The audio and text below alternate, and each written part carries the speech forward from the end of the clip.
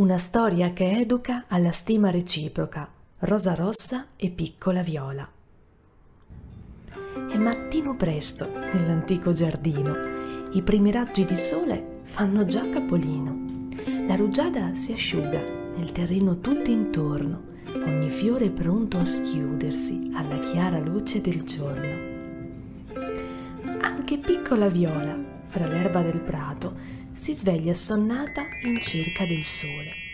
Ogni suo petalo, tenero e delicato, è accarezzato dal vento col suo caldo tepore.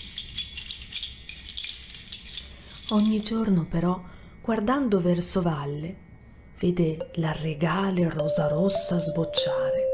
Lei è il fiore più amato dalle farfalle, quanto vorrei poterle assomigliare.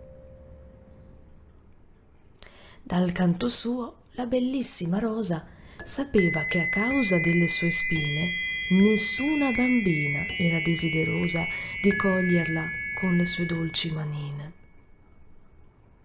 Pensava tra sé, vorrei essere piccina invece di pungere con la mia spina, così che passando ogni bambino possa annusarmi col suo nasino finché una sera, allo spuntar della luna, Rosarossa decise di dire alla viola per me è proprio grande la tua fortuna, anche ogni ape il tuo nettare adora.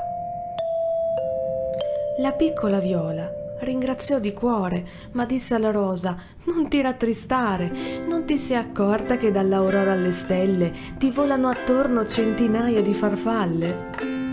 E così facendo i due bellissimi fiori trovarono di ciascuno i lati migliori, dovevano solo impararli a notare, insieme osservarsi e lasciarsi guardare.